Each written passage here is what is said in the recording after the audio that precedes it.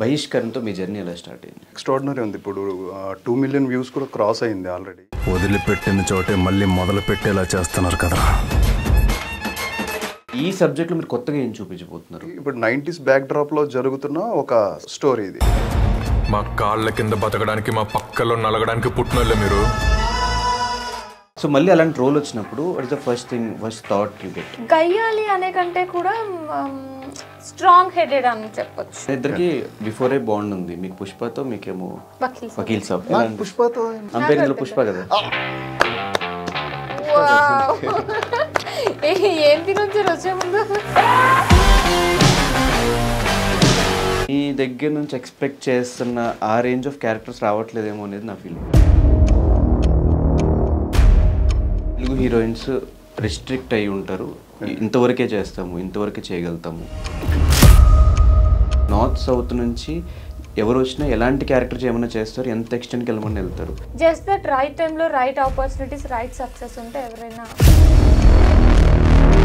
మలేషియం కూడా huge success కదా. So నాకు ఆ సక్సెస్ రాకపోతే పవన్ సార్ లాంటి స్టార్ హీరో సినిమాలో నాకు హీరోయిన్గా ఆపర్చునిటీ రాదు కదా. అండ్ తెలుగు హీరోయిన్స్ రెమ్యునరేషన్స్ కూడా తక్కువే ఉంటాయి. నార్త్ నుంచి వచ్చే వాళ్ళకేమో వాళ్ళు చేసిన పది సినిమాలు అయినా కూడా వాళ్ళు పెద్ద బంగ్లాలు ఇల్లులు కార్లు కొనుక్కుంటున్నారు. ఇప్పుడు బంగ్లాలో ఇల్లులు కొనుక్కునే హీరోయిన్స్ అందరూ సో మీరు షూటింగ్ టైంలో ఎంజాయ్ చేసిన నైంటీస్ ఐటమ్స్ ఏంటి? పుట్టినప్పటి నుండి ఈ ఊరు ఇంత బాగుంటుందని నేను ఎప్పుడు అనుకోలేదు. నువ్వు నాతో ఉంటే చాలా బాగుంటుంది పుష్ప. హాయ్ హలో నమస్తే. నేను మీ anchor Dhanush. Welcome to I dream. నేను రీసెంట్గా నాకు ఆల్రెడీ తెలిసిన ఒక ఇద్దరు వ్యక్తులు కలిసి చేసిన ఒక సిరీస్ బహిష్కరణ. ఈరోజు నేను ట్రైలర్ చూడటం జరిగింది. ఈ నైన్టీన్త్ నుంచి ప్రీమియర్ స్టార్ట్ చేశారు. అంటే ఒక విలేజ్ బ్యాక్డ్రాప్లో జరుగుతున్న ఒక స్టోరీ ఒక రివెంజ్ డ్రామా.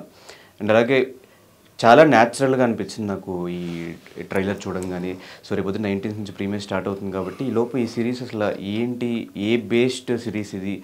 చాలా రివెంజ్ డ్రామాస్ వచ్చినాయి. అందులో దీంట్లో దీనికి డిఫరెన్స్ ఏంటి? అండ్ అనన్య గారు చాలా రోజుల తర్వాత మళ్ళీ ఆ విలేజ్ బ్యాక్ డ్రాప్ గెటప్లో మనకు కనిపించిపోతున్నారు. శ్రీతేజ్ అన్న కొంచెం ఆ పుష్ప కైండ్ ఆఫ్ గెటప్లో కొత్తగా కనిపిస్తున్నారు నాకు కాబట్టి అసలు ఈ ఈ సిరీస్ ఎలా ఉండబోతుందో వాళ్ళ మాటలో తెలుసుకున్నాం హలో హలో ఎలా ఉన్నారు? సూపర్. ఇద్దరు టైర్డ్ అయిపోయి ఉన్నారు. మీరు వెయిట్ చేసి షూట్కి వెళ్ళొచ్చి. ప్రమోషన్స్ కదా. ప్రమోషన్స్ అది. ప్రమోషన్స్లో బిజీ అయిపోయారు. సో ఎలా ఉంది రెస్పాన్స్ మీకు వన్స్ అది అవుట్పుట్ బయటకు వచ్చిన తర్వాత?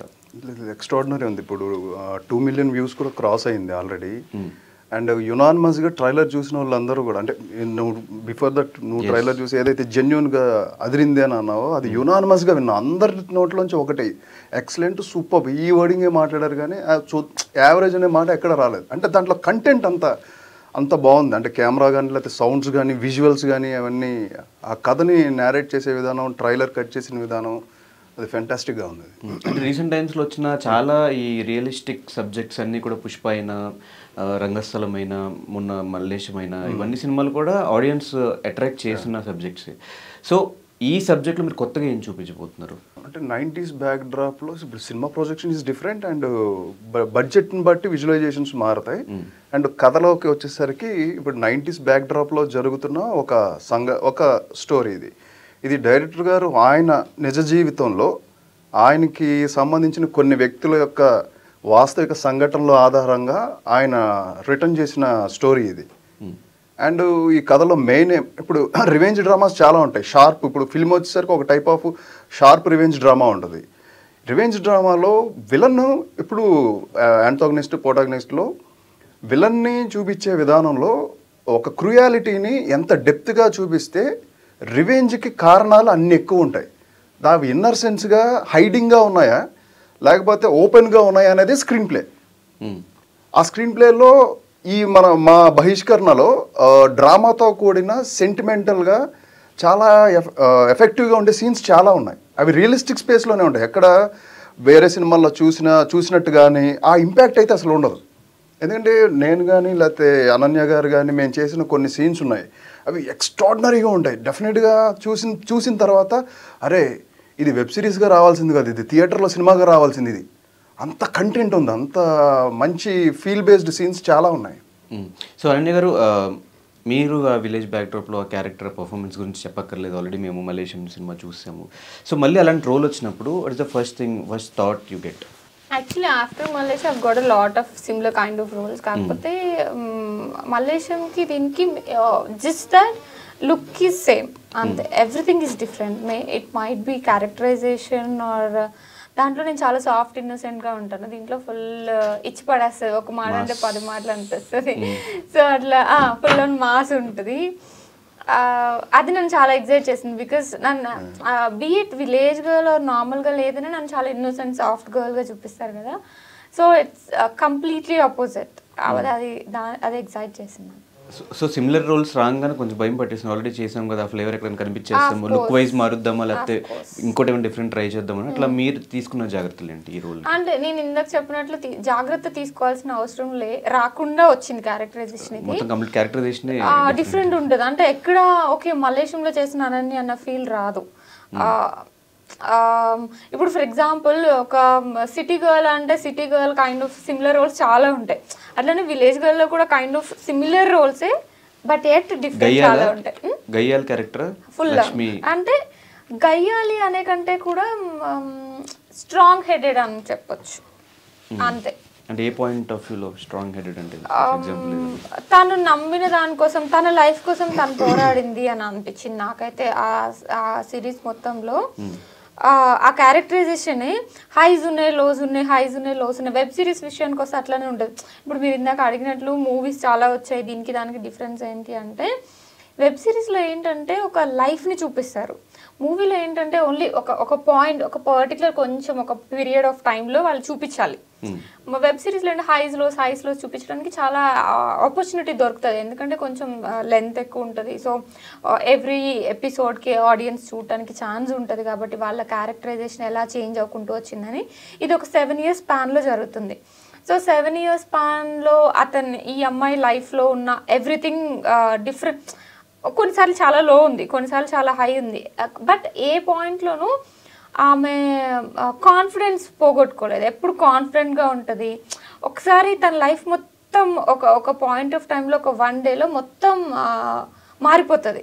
బట్ స్టిల్ ఆ మారిన దాంట్లోంచి కూడా తను స్ట్రాంగ్గా బయటకు వస్తుంది అనమాట వెరీ కాన్ఫిడెంట్గా అది చాలా మంచి రోల్ అట్లా ఆ విషయానికి సూపర్ సో మీకు ఎట్లా వచ్చింది బ్రో ఈ ఈ బహిష్కరణతో మీ జర్నీ ఎలా స్టార్ట్ అయింది? యాక్చువల్గా అంటే క్యారెక్టర్స్ కోసం చూస్తున్నప్పుడు కాల్ చేసి రమ్మన్నారు. అండ్ ఫోటో యాజ్ యూజువల్గా డైరెక్ట్గా చూశారు. అంత టెస్ట్ లుక్ అది చూసుకున్నారు. లుక్ గెటప్ అది అంతా వేసుకొని చూసుకుని ఇమీడియట్గా జీ వాళ్ళకి పంపించగానే యునానిమస్గా జీ టీమ్ అందరూ కూడా ఓకే అన్నారు. శ్రీతేజ సూపర్ ఉంటుంది. శ్రీతేజ అయితే ఓకే డన్ అనగానే ముందు నా కాన్ఫిడెన్స్ వచ్చింది. అంటే ద జీ నెట్వర్క్ అనేది పెద్ద నెట్వర్క్. వాళ్ళందరూ ఏ దృష్టితో చూస్తారంటే టోటల్గా రిలీజ్ తర్వాత ఎలా ఉంటుంది? సెట్ అవుతాడా లేదా ఇంత దృష్టితో చూస్తారు కదా అంతమంది దృష్టితో వాళ్ళు చూసినప్పుడు వాళ్ళ వర్డ్స్ నాకు చాలా బాగా అనిపించినాయి. అండ్ ఒక ఛాలెంజింగ్ క్యారెక్టర్ మళ్ళీ ఇంకోటి దొరికింది నాకు.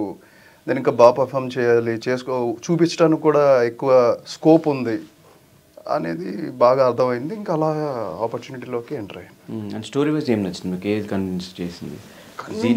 First of all Zee network లేకపోతే జీ నెట్వర్క్ వాళ్ళు మన కథలోకి కథ వాళ్ళకి తెలుసు. కథలోకి నేను ఫిట్ అవుతానని వాళ్ళకి తెలుసు. కథలోకి ఫిట్ అవుతానని తెలిసినప్పుడు నేను కథలోకి ఎంటర్ అయ్యేటప్పుడు కథ మొత్తం వింటాం కదా. కథే సోలే నాకు బాగా నచ్చింది. ఆ నేరేషన్ ఏదైతే కథ నేరేషన్ ఉందో ఇప్పుడు అంటే పూర్తిగా వివరంగా చెప్పలేకపోవచ్చు. ఆఫ్టర్ నైన్టీన్త్ తర్వాత ఎవరైతే చూస్తారో డెఫినెట్గా ఇప్పుడు చేసే ఇంటర్వ్యూస్ కంటే ఇంకా ఎక్కువ ఉంటాయి. ఈ సీన్ ఎలా చేశారు మీరు? ఈ ఫైట్ ఎలా చేసావు అక్కడ నూతి దగ్గర ఎలా చేసావు? వాటర్లో ఎలా చేసావు బ్రదర్ అని చెప్పి నన్ను అడిగే క్వశ్చన్స్ ఇంకా ఎక్కువ పెరుగుతాయి. ఎందుకంటే అంత రియలిస్టిక్ స్పేస్లో ఉంది. ఒక శివపుత్రుడు అండ్ పరుత్తి వీరన్ ఇలాంటి సినిమాలు తమిళ్ళో చూస్తాం కదా. ఇంకా భలే ఉన్నాయి. తమిళ సినిమాలు చాలా రియలిస్టిక్గా చేస్తారని అంత రియలిస్టిక్ పాత్రలో ఉంటుంది. క్యారెక్టరైజేషన్స్ కానీ లేకపోతే డైరెక్టర్ గారి విజన్ ఇవన్నీ నాకు బాగా నచ్చినాయి. నా నాకు చెప్పారు ఫస్ట్ నేను కొత్తగా చూపిస్తాను. ఇప్పటివరకు నువ్వు చేసిన క్యారెక్టర్స్ కాకుండా ఇది నువ్వు కొత్తగా ఉంటావు అనగా నాకు ట్రిగర్ అయింది. అంటే ఈయన ఏదో కొత్తగా చేయించాలనుకుంటున్నారు అనే ఫస్ట్ పాయింట్ అది నాకు డైరెక్టర్ గారితో బాగా కనెక్టివిటీ పెరిగింది. ప్లస్ ఇంకా నా హోంవర్క్ నేను హండ్రెడ్ హండ్రెడ్ పర్సెంట్ నా హోంవర్క్ చేస్తా. కొత్తగా రావడానికి ఇంకా నేనేం చేయొచ్చు? బాడీ లాంగ్వేజ్లో ఏం చేంజెస్ చేయొచ్చు? ఫేషియల్ ఎక్స్ప్రెషన్స్లో ఏం చేయొచ్చు? కళ్ళు ముందు చేసిన సినిమాలకు ఉండే ఐ ఎక్స్ప్రెషన్కి దీనికి డిఫరెన్స్ ఉండాలి. దానికోసం ఏం జాగ్రత్తలు తీసుకోవచ్చు అని హోంవర్క్ చేయడానికి అన్నిటికీ నాకు స్పేస్ దొరికిందని అనిపించింది. ఏం రిఫరెన్స్ తీసుకున్నారు మీరు ఈ క్యారెక్టర్ కోసం? ఏం తీసుకోలేదండి. ఓన్లీ డైరెక్టర్ గారి పాయింట్ ఆఫ్ వ్యూలో ఆయన ఐడియాలజీ అంటే మా క్యారెక్టర్స్ని ఆయన చూశాడు రియల్గా. ఆయన ఎక్స్పీరియన్స్లో వాళ్ళ ఊరి దగ్గరలో మాకు సంబంధించిన క్యారెక్టర్స్ కొన్ని క్యారెక్టర్స్ ఉన్నాయి. అందుకని చెప్పి ఆయన ఆయన guidance and director point of వ్యూలోంచి నేను క్యారెక్టర్ని అర్థం చేసుకొని ఆ రియలిస్టిక్ స్పేస్లో ఎలా ఉండాలి ఏంటనేది దాని మీదే వర్క్ చేశాను. అండ్ మీ ఇద్దరు తెలుసా? ఆ, మీ ఇద్దరు ముందే ఆన్ బోర్డ్ అయ్యారు అని చెప్పి తెలుసా? లేకపోతే ఒకరి తర్వాత ఒకరు వచ్చారు? ఫస్ట్ వీళ్ళందరూ ఫస్ట్ సెలెక్ట్ అయ్యారు తర్వాత నేను సెలెక్ట్ అయ్యాను. తర్వాత నేను. వీళ్ళకి తెలుసు. ఎవరు వస్తారా అని. నాకు తెలిసి వీళ్ళందరూ ఉన్నారని. ఎవరు వస్తారా అని తర్వాత తెలిసింది. సో మీకు ఫస్ట్ ఎవరని చెప్పారు? ఫస్ట్ నుంచి ఆయన చెప్పారు చూస్తున్నామని చెప్పారు? చూస్తున్నామని చెప్పారు. నేను నేను ఆన్ బోర్డ్ అయినప్పుడు వేరే వాళ్ళు చూస్తున్నాము. మీకు స్టోరీ చెప్పినప్పుడు ఒకవేళ శ్రీదేవి అన్న మైండ్లోకి రానప్పుడు ఎవరు ఉంటే బాగుండేది అనిపించింది ఆ క్యారెక్టర్కి ఓ ఇంట్రెస్టింగ్ క్వశ్చన్ శ్రీతేజ ఇంకెవరు?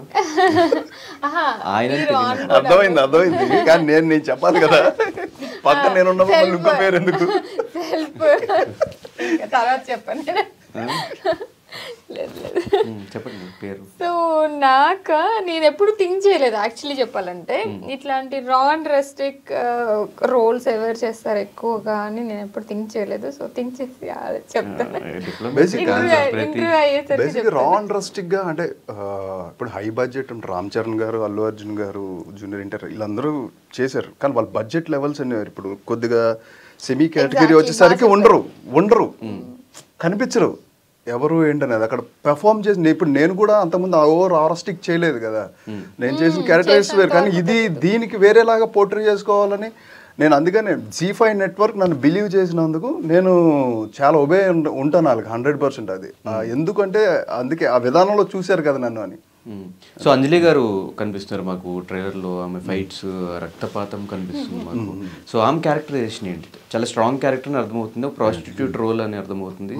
మళ్ళీ ఆవిడ బ్యాక్ టు బ్యాక్ ప్రాస్టిట్యూట్ రోల్స్లోనే వస్తున్నారు. ఈ డిస్కషన్ ఎప్పుడు జరిగిందా ఆమెతో పాటు లేదు లేదు. జరగలేదు అంటే అంటే పర్టికులర్గా డిస్కషన్ జరగలేదు కానీ ఇప్పుడు కొత్తగా ఏదో ట్రై చేయాలని చూస్తారు. అంజలి గారు క్యారెక్టర్స్ బాగుండాలి క్యారెక్టరైజేషన్ బాగుండాలి దానికోసమే నేను వెయిట్ చేస్తాను. అందుకే రెగ్యులర్ సినిమాలు ఎక్కువ చేయను. తక్కువ సినిమాలు చేసినా మంచి క్యారెక్టర్ ఉండేది అనే పాయింట్ ఆఫ్ వ్యూలో చేస్తానని ఇప్పుడు డిస్కషన్ చేస్తారు. Professional discussion. కానీ ఇద్దరికి బిఫోరే బాండ్ ఉంది. మీకు పుష్పతో మీకేమో వకీల్ సాబ్. వకీల్ సాబ్తో. ఎస్ వకీల్ సాబ్తో. నాకు పుష్పతో ఇందులో పుష్ప కదా?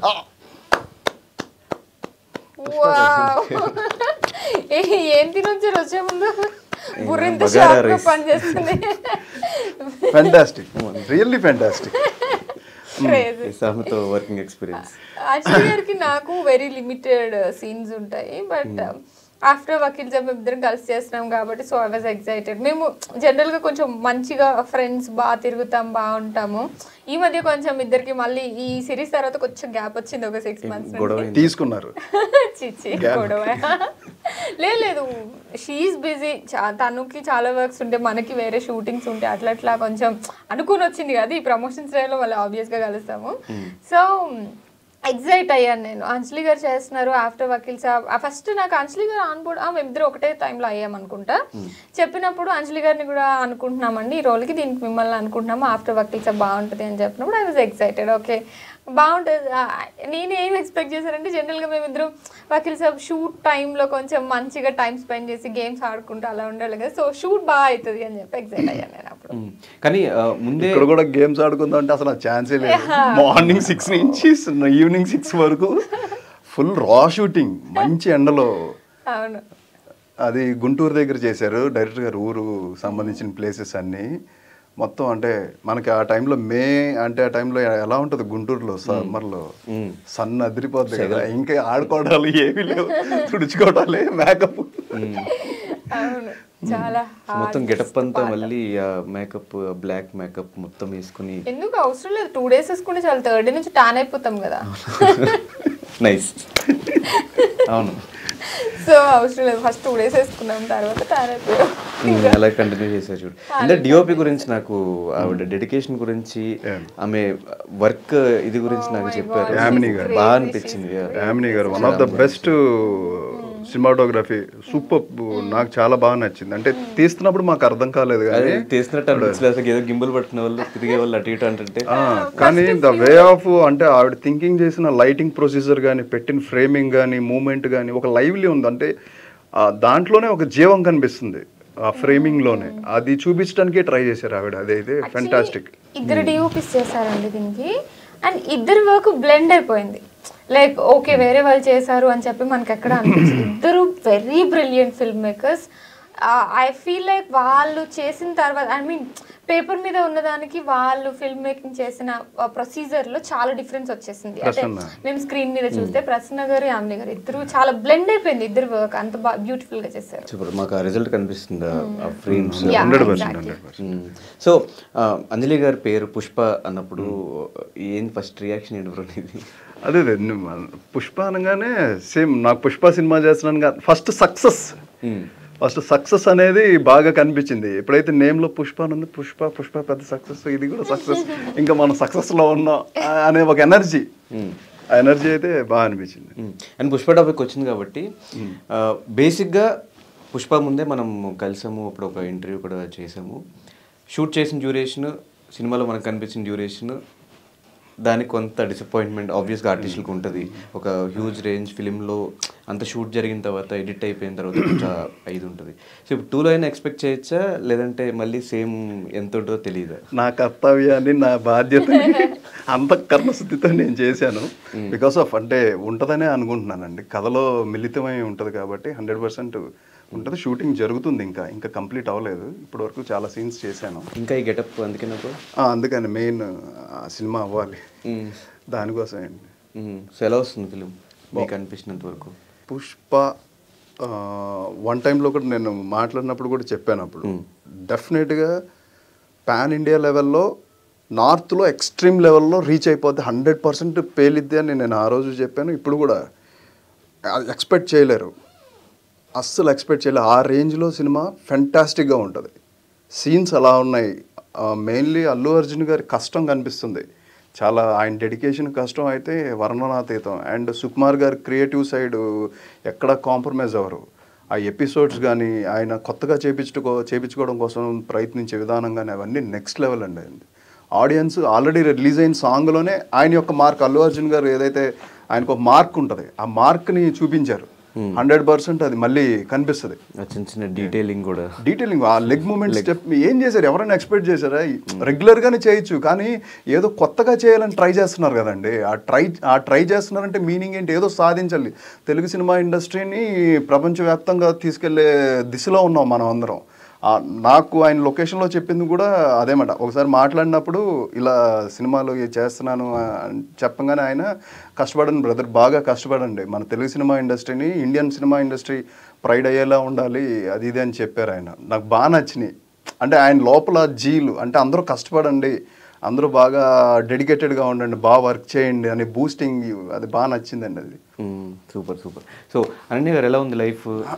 నడుస్తుంది. నేను ఒక ప్రీ రిలీజ్ ఈవెంట్లో మీ స్పీచ్ చూసి దర్శి గారితో ఏం పట్టుకున్న సబ్జెక్టులు హిట్ అవుతున్నాయి ఏం చేసిన సక్సెస్ అవుతుంది ఆ, లక్ ఫ్యాక్టర్ అంటారు మరి ఏమనుకున్నారు మీరు? మీ విషయంలో ఏం జరుగుతుంది?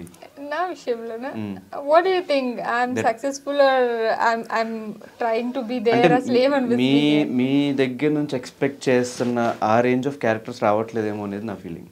అంటే మీ పర్ఫార్మెన్స్కి. I think this year Bahishkarana.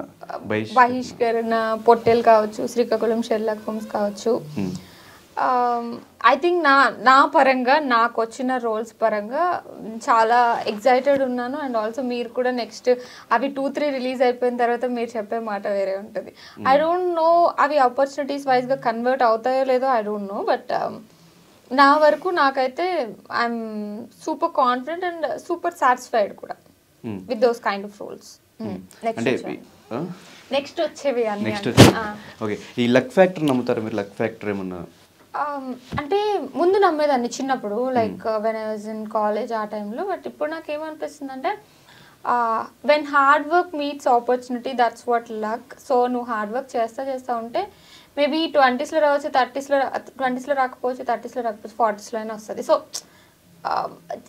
Work చేస్తూ ఉంటే ఎప్పటికప్పుడు సక్సెస్ వస్తుంది.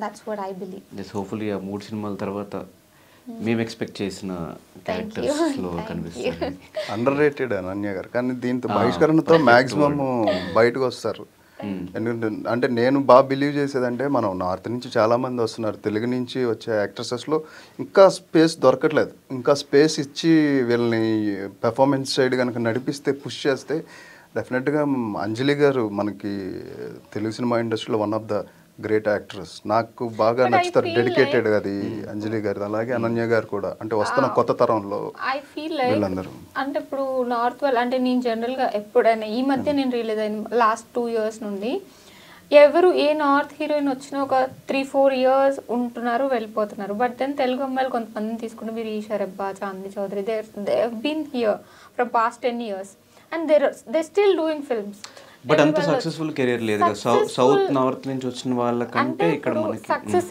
ఏ కైండ్ ఆఫ్ టర్మ్స్లో తీసుకుంటున్నారు అనేది ఇంపార్టెంట్ ఒకటి మార్కెట్ అంటే మనీ వైజ్ గానా? లాంజివిటీ వైజ్గా నీకు నచ్చిన వర్క్ నువ్వు చేస్తున్నావు అని చెప్పేసి ఇంకా ఇంకా చాలా ఫ్యాక్టర్స్ ఉంటాయి.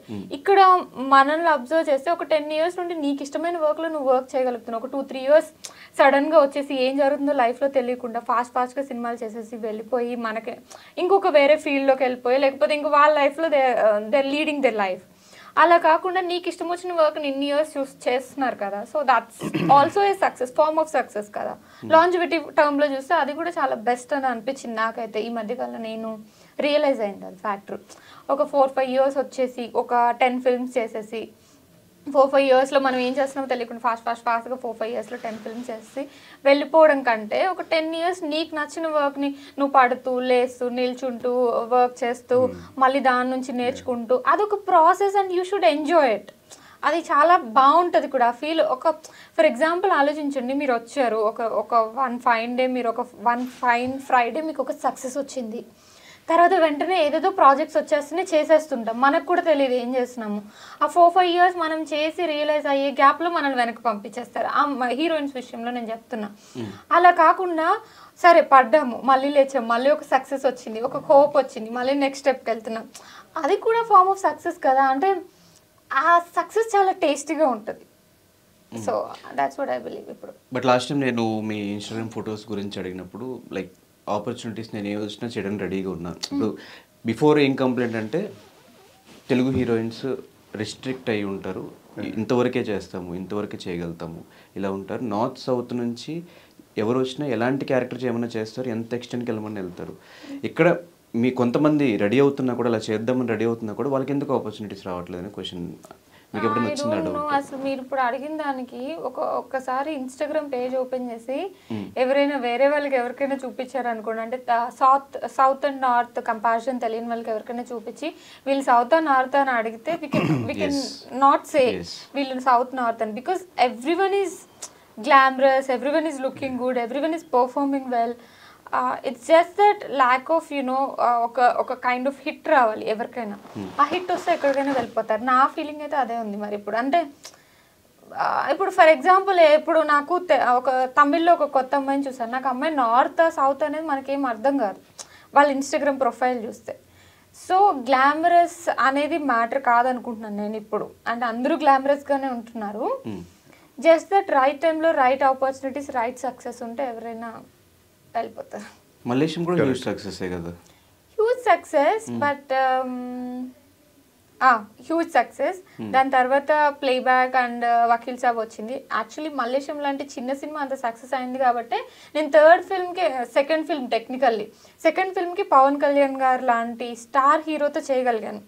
ఆబ్వియస్గా కదా. అదే బేసిక్ మంచి పెర్ఫార్మెన్స్ చేయగలుగుతారు అనేది పాయింట్ ఆఫ్ వ్యూలో పెద్ద సినిమాలో ఒక ఆపర్చునిటీ వచ్చింది. సో నాకు ఆ సక్సెస్ రాకపోతే పవన్ సార్ లాంటి స్టార్ హీరో సినిమాలో నాకు హీరోయిన్గా ఆపర్చునిటీ రాదు కదా. సో ఆపర్చునిటీస్ వచ్చాయి. కానీ దాని తర్వాత కోవిడ్ వచ్చింది అటు ఇటు అయిపోయింది ఇంకా మొత్తం.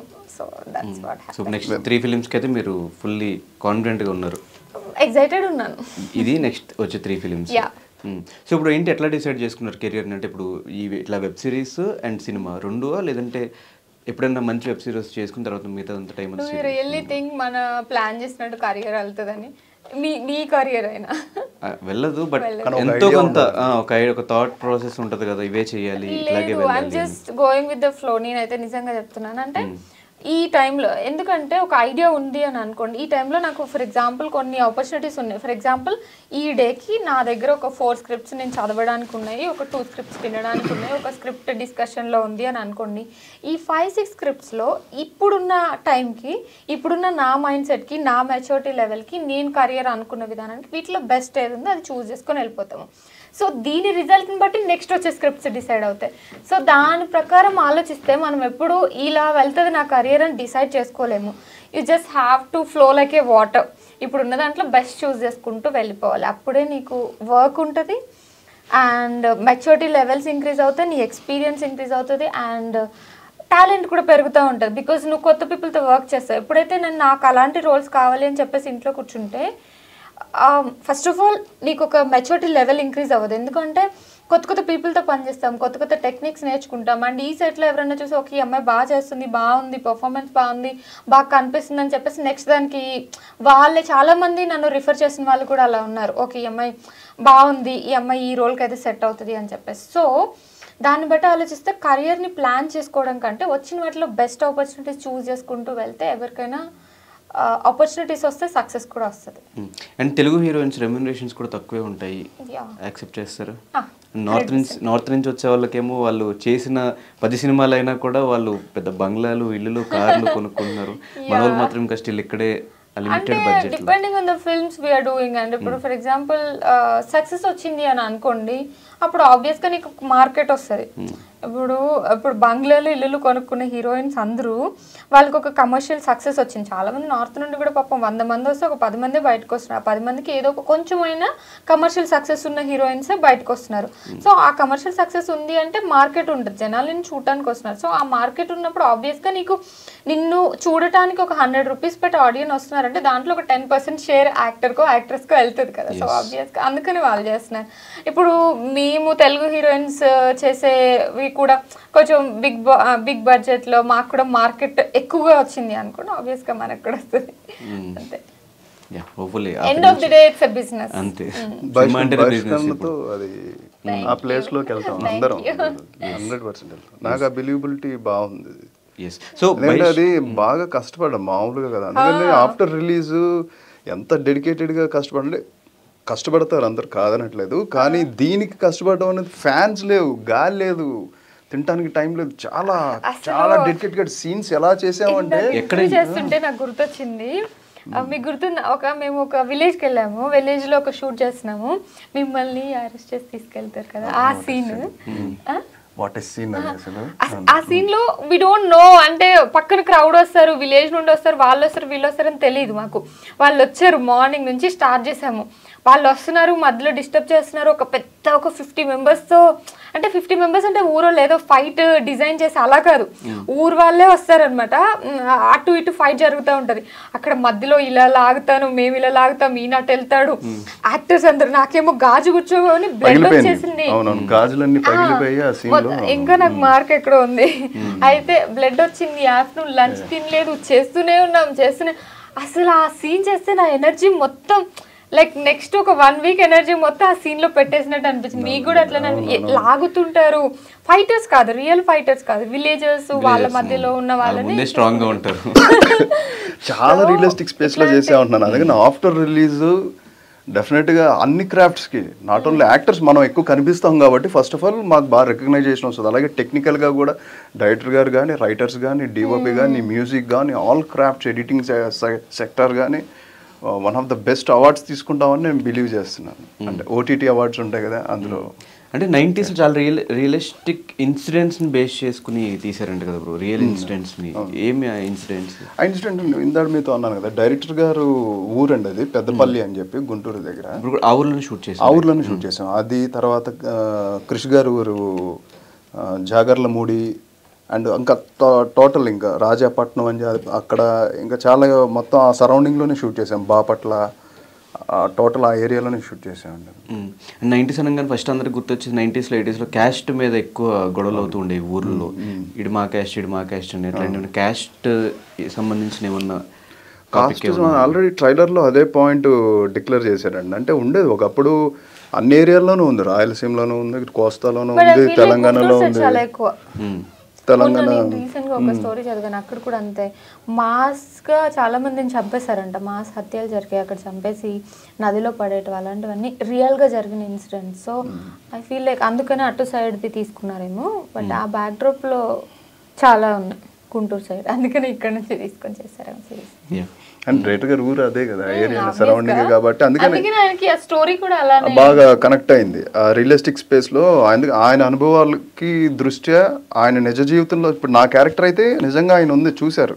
ఆయన ఎక్స్పీరియన్స్ ఉంది ఆ క్యారెక్టర్తో కూడా అందుకని నాకు చెప్పారనమాట అది. రియలిస్టిక్ స్పేస్లో వెళ్తున్నాం. అందుకని నేను చేసేటప్పుడు కూడా నిజ జీవితంలో ఆ క్యారెక్టర్ ఎలా ట్రావెల్ అయి ఉంటుందని ఒక ఇమాజినేషన్ ఒక డ్రాఫ్ట్ పెద్ద డ్రాఫ్ట్ వేసుకొని ఆ పాయింట్లోనే ట్రావెల్ చేశాను అందుకని ఆఫ్టర్ రిలీజ్ డెఫినెట్గా అప్రిషియేషన్స్ తీసుకుంటానని నాకు నమ్మకంగా కూడా ఉంది. నైంటీస్ టైం కాబట్టి ఆ టైంలో అన్నీ అవన్నీ మిస్ అవుతున్నాం మనం. ఇప్పుడు ఐటమ్స్ అని ఇప్పుడు కూల్ డ్రింక్స్ కానీ మిగతా మిగతా షాప్స్ అంతా. సో మీరు షూటింగ్ టైంలో ఎంజాయ్ చేసిన నైంటీస్ ఐటమ్స్ ఏంటి? Gold Spot. ఓకే. అది మనం ఒక షాప్ దగ్గర షూట్ చేసాం కదా. ఒక ఆ షాప్ దగ్గర గోల్డ్ స్పాట్ సీసాలు అవి తర్వాత ఇంకే ఒక పాత cycle ninety Hero cycle and చిన్న టేప్ రికార్డర్ అండ్ బయట బయట పడుకుంటాం కదా బెడ్ మీద అదే మంచం మీద మంచం. ఆ- మంచం. ఆ, ఆ నులక కైండ్ ఆఫ్. అవన్నీ మ్మ్. అవన్నీ ఎంజాయ్ చేశాను. పాత మిర్రర్ అది మిర్రర్ ఒకటి ఉంటుంది కదా ఇంట్లో. అది ఓల్డ్ ఓల్డ్ స్టైల్ మిర్రర్ పువ్వుల్లాగా ఇలా వచ్చి ఒక మిర్రర్స్ ఉంటాయి. ఆ, కైండ్ ఆఫ్ మిర్రర్ అవన్నీ. మీరు మీరేమి ఎంజాయ్ చేశారా నైంటీస్ ఐటమ్ అదే బయట పడుకునేది ఆ మంచాలు లేకపోతే చెట్ల కింద గుర్తొచ్చిన టైంలో మెమరీస్ అట్లా షూట్ జరుగుతున్నప్పుడు? ఆ, నేను చిన్నప్పుడు మనకి సమ్మర్ టైంలో బయట పడుకుంటాం కదా అమ్మమ్మ వాళ్ళ ఇంటికి వెళ్ళినప్పుడు. అది అది అది అనిపించింది నాకు. మాకు కొన్ని సీన్స్ ఉన్నాయి అట్లా మంచం మీద పడుకొని చేసే సీన్స్ అప్పుడు గుర్తొచ్చింది. డెఫినెట్ నాకైతే మంచి ఇంట్రెస్టింగ్ సబ్జెక్ట్ అని అనిపిస్తుంది మీ కాన్ఫిడెన్స్ చూసిన తర్వాత. సో మరి ఏమో రేపు పొద్దున్న నైన్టీన్ తర్వాత ఆడియన్స్ ఏం డిసైడ్ చేస్తారో ఏం రిజల్ట్ మీకు ఇస్తారో ఇంకా చూడాలి మళ్ళీ. అండ్ రీసెంట్గా మీరు మీరు ఇన్స్టాలో ఒక ఇష్యూ మీద రియాక్ట్ అయ్యారు. అంటే చాలా రేర్గా రియాక్ట్ అవుతూ ఉంటారు. ఎందుకు ఆ ఇష్యూ మీద రియాక్ట్ అవ్వాలనిపించింది మీకు? రియాక్ట్ అవ్వడం కంటే అవేర్నెస్ తేవాలనిపించింది. బికాజ్ చాలా ఇష్యూస్ జరుగుతున్నాయి అట్లా కానీ ఎవరికి తెలియట్లేదు. ఎందుకు అంటే ఎవరు మాట్లాడట్లేదు. అంటే they not taking it serious కానీ నేను ఆ ఇష్యూ మీద సైబర్ క్రైమ్ డిపార్ట్మెంట్కి వెళ్ళి అక్కడ మాట్లాడుతున్నప్పుడు ఐ మీన్ అక్కడ కంప్లీట్ ఇద్దామని వెళ్ళినప్పుడు నాకు అర్థమైంది. అంటే people are losing real money చాలా లా ల్యాక్స్లో క్రోర్స్లో మోసపోతున్నారు. కానీ కొంతమంది షేమ్ వల్ల చెప్పట్లేదు. కొంతమంది ఏమో అవేర్నెస్ లేక చెప్పట్లేదు. ఓకే ఇచ్చారు కొంతమంది దాచిపెడుతున్నారు. ఫ్యామిలీ మెంబర్స్ని దాచిపెట్టాలని చెప్పట్లేదు. సో అది జరుగుతుంది. ఇది ఒక కేస్ ఇది ఒక ఇన్సిడెంట్ జనరల్గా చాప కింద నీరులాగా మొత్తం వచ్చేస్తుందని ఎవరికి అర్థం కావట్లేదు. అందుకని చెప్పాలనిపించింది. అసలు మీకేం జరిగింది? నాకు ఇట్స్ అ బిగ్ స్టోరీ అంటే. షార్ట్గా చెప్తాను టు కట్ ఇట్ షార్ట్ ఒక పోలీస్ డ్రెస్లో ఒక సమ్ వన్ మాట్లాడారనమాట మాట్లాడి ఆధార్ కార్డ్స్ జనరల్గా యాక్టర్స్ కదా ఆధార్ కార్డ్స్ ఎవరికైనా ఇప్పుడు హోటల్లో ఎక్కడైనా స్టే చేస్తున్నప్పుడు అలా ఇస్తాం కదా మీ ఆధార్ కార్డ్ నుంచి చాలా నెంబర్స్ తీసుకున్నారు. వాళ్ళు మనీ లాండరింగ్ కేసెస్లో వాటిలో ఇన్వాల్వ్ అయి ఉన్నారు. మీరు కూడా కమిషన్ తీసుకొని మీ ఆధార్ కార్డ్ ఇచ్చారని చెప్పేసి మాకు డౌట్ వస్తుంది అని చెప్పేసి సంథింగ్ ఒక ముంబై నుండి మాట్లాడినట్టు బిల్డప్ ఇచ్చారనమాట ఆ బిల్డప్ ఇచ్చేసి లాస్ట్కి మనం మన అకౌంట్ నుండి మనం ట్రాన్స్ఫర్ ఇప్పుడు ఫస్ట్ ఏం చెప్తారంటే జస్ట్ మీరు అది తీసుకు ఆ పోలీస్ దగ్గర నుంచి ఎన్ఓసి సర్టిఫికేట్ తీసుకోండి అంతవరకే ఓకే అని చెప్తారు. లాస్ట్కి తీసుకెళ్ళి మన అకౌంట్ నుంచి డబ్బులు ట్రాన్స్ఫర్ చేయాలి అని చెప్తారు అనమాట కొంతమంది వాళ్ళు ఎలా అంటే ఒక భయం ఎమోషన్తో ఆడుకుంటారు అనమాట అమ్మాయిలను అయితే భయం లేకపోతే ప్రేమ అంటే ఫర్ ఎగ్జాంపుల్ మన హస్బెండ్ లేకపోతే పిల్లలు లేకపోతే ఎవరో ఒకళ్ళు బయటికి వెళ్ళారు వాళ్ళ వాళ్ళ మీద ఏదో పోలీస్ కంప్లైంట్ ఉంది వాళ్ళ మీద డ్రగ్స్ కేసులు ఇరుక్కున్నారని అలా డబ్బులు తీసుకోవడం అట్లా అమ్మాయిలను అయితే అబ్బాయిలు అయితే ఇట్లాంటి వాటికి పడరు కదా సో వాళ్ళకి ఆశ చూపిస్తారు. మీరు ఒక హండ్రెడ్ రూపీస్ స్టాక్స్లో పెడితే మీకు ఒక థౌజండ్ రూపీస్ ఇస్తామని చెప్పేసి అట్లా ఆశ చూపించడం లేకపోతే బ్లాక్మెయిల్ చేస్తారు. ఇప్పుడు ఒక అమ్మాయి వీడియో కాల్ చేసింది వేరే అతను కొంచెం జాయిన్ అయ్యారే అనుకోండి ఆ వీడియో కాల్ని రికార్డ్ చేసి అట్లా బ్లాక్మెయిల్ చేయడం. అట్లా డిఫరెంట్ కైండ్స్ జరుగుతున్నాయి. అండ్ వాళ్ళు చాలా ట్రైన్డ్ ఉన్నారు. లైక్ ఇది రియల్ అని చెప్పి మనం నమ్మేలాగా చేస్తున్నారు అనమాట ప్రతి ఒక్కరి బ్రెయిన్ని ట్రిక్ చేయగలరు. మనం అనుకుంటాము వీళ్ళు ట్రిక్ చేయలేరు అని అనుకుంటాము. కానీ మీ ఎమోషన్ని ఏదో ఒక ఎమోషన్ ఆశకో లేకపోతే అమ్మాయికో భయానికో దేనికో దాని ప్రేమకో దేనికో దాన్ని పడతారు కదా. ఏ ఎమోషన్కి పడితే దాని మీద టాప్ చేస్తున్నారు వాళ్ళు. సో అది ఇన్సిడెంట్స్ అన్ని విన్న తర్వాత నాకు అది అర్థమైంది. అందుకే అవేర్నెస్ అండ్ ఇంకోటి ఆర్టిస్ట్ మీరు చెప్పిన పాయింట్ చాలా మంది మగవాళ్ళకు కూడా జరిగినాయి. నేను నా సర్కిల్లోనే చెప్పిన వాళ్ళు విన్న. ఈ రీసెంట్ గానే ఉన్న సేమ్ ఇప్పుడు మీరు ఏ సినారియో చెప్పారో. ఇదే సినారియోతో జరిగిన వాళ్ళు భయపడిపోయిన వాళ్ళు. ఒక ట్వంటీ ఫైవ్ మెంబర్స్ చెప్పారు నాకు. నువ్వు పెట్టావు కాబట్టి సరిపోయింది తెలియ అంటే నా ఫ్రెండ్స్లో నువ్వు పెట్టావు కాబట్టి సరిపోయింది మాకు అర్థమైంది కాబట్టి మేమేం. ఇన్వాల్వ్ అవ్వలేదు. అదర్వైజ్ మేము భయపడిపోయే వాళ్ళమే చాలా అని చెప్పి చాలా మంది చెప్పారు మంచి అవేర్నెస్ అది ఎస్ ఆర్టిస్టులు ఇంకా భయపడాలి. ఎప్పుడేం జరిగిద్దో మనకు ఇన్వాల్వ్మెంట్ ఉన్నా లేకపోయినా. సెన్సిబుల్ లేకపోయినా మనం. అవును ఎగ్జాక్ట్లీ ఏదో గాజు మేడ్ లాగా ఏదో ఉన్నా లేకపోయినా ఆబ్వియస్గా మనల్ని ఇన్వాల్వ్ చేస్తారు. చేసినప్పుడు మరి ఫస్ట్ నమ్మేస్తారు ఆడియన్స్ గ్లామర్ ఫీల్డ్లో ఉన్న ఎవరి గురించి ఏం వచ్చినా కూడా ఫస్ట్ నమ్మేస్తారు. నిజమా అబద్ధమా ఏం తెలుసుకోరు. వెరీ గుడ్ అవేర్నెస్ ఆడియన్స్ మనకి ఇచ్చారు. అండ్ మీ తర్వాత చాలా మంది ముందుకు రావడం స్టార్ట్ చేశారు. దాని తర్వాత చిన్న చిన్న వాళ్ళందరూ వెళ్ళి కంప్లైంట్ ఇవ్వడం ఏం జరిగింది. ఇవ్వాలి. లేకపోతే నేను పోలీస్తో మాట్లాడుతున్నప్పుడు నాకు అదో twenty thousand to thirty thousand crores of rupees loss పోతు లాస్ అవుతున్నారు అందరూ. మోసపోతున్నారు. ఎక్కడ పరుగు పోద్దని భయం ఎస్ సో ఫైనల్గా బహిష్కరణ సబ్జెక్ట్ వన్ వర్డ్లో మీ ఇద్దరికి ఎంత ఇంపార్టెంట్ ఫిల్మ్ చెప్పండి?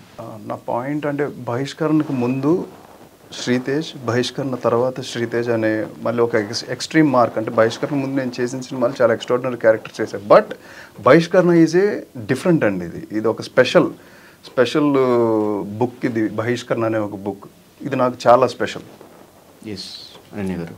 అంటే ఇందాక మాట్లాడినట్లు ఒక ఇన్నోసెంట్ సింపుల్ క్యూట్గా ఉండే అమ్మాయి లేకపోతే భయపడే అమ్మాయి దగ్గర నుంచి ఒక స్ట్రాంగ్ రోల్ స్ట్రాంగ్ క్యారెక్టర్స్ రావడానికి నాకు ఈ సిరీస్ చాలా హెల్ప్ చేస్తుంది అనుకుంటున్నాను.